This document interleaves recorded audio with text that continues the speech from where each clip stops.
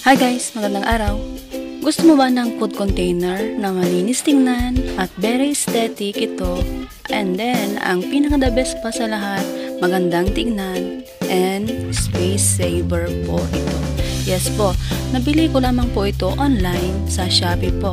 Kung gusto mo pong bumili at mag-order, please check lang po yung description box natin at doon ko po ilalagay ang ating link para po maka-order kayo kung gusto ninyo.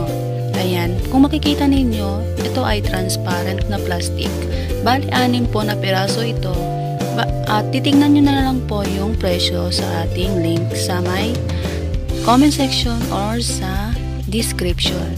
Ayan, ilalagay ko po doon kung saan natin ma-order ito mga maricol.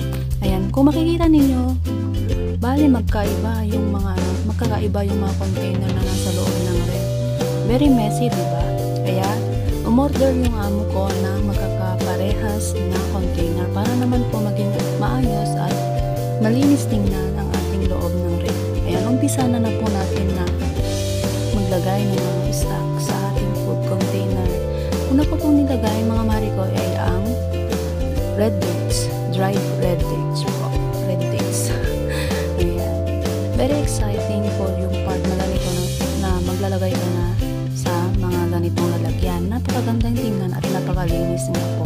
Bale, una ko pong ginawa dyan, hinugasan ko po muna at pinatuyo mga marikoy. Don't worry po.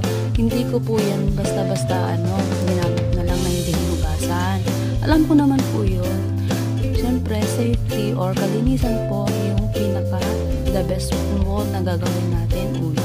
Para po maiwasan po natin yung mga hindi aya-ayang mga amoy or kung ano man po yung nandyan sa mga plastic na ginagamit natin. Ayan. Hindi gaya ng mga kaibigan mo na plastic na laging nakaantabay sa iyong buhay. Charot!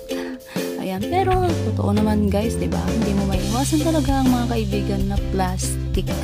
Ayun, napunta tayo doon. Balik tayo dito sa container na nabili natin online. Ayan, so po na nilagay natin sa container ay ang dried prawn po. Yes po, dried prawn, mga dried goods po yung nilagay ko dyan. Yung mga pangmatagalan na stock po para hindi naman po siya pasukin ng tubig. Ayan, kasi nga po mga dry po yan na uh, pagkain na sinasahog ko dun sa kung ano-ano lalo na dun sa soup kasi pag ano pag Chinese yung amo mo marami silang nilalagay na mga herbs mga seafood na dry gaya ng oyster squid dried saka yung uh, clam yan po tapos mga dried prawn nilalagay po yan sa mga kung ano-ano na ano sa pagkain nila ayan bali tapos ko na pong nailagay yung mga dry goods natin. Bali, anim lang po kasi yung binili ng amo ko. Actually, kulang pa nga po ito. Kaya, yung nasa loob po ng fridge ay medyo magkakaiba pa rin po. Pero pare-parehas naman po siya. Ayan, nailagay ko na nga po sa loob. Hindi ko na po nabidyoan yung paglagay ko. Ayan. Bali, yung mga container po dati dyan ay ano rin po siya. Ayan.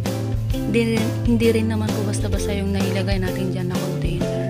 Tupperware naman po siya. Ayan. Maganda po siya tingnan, di ba guys?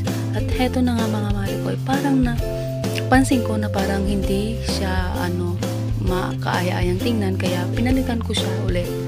Pinalitan ko siya mga marikoy at inayos ko ulit ng ganito. Taran! Ayan.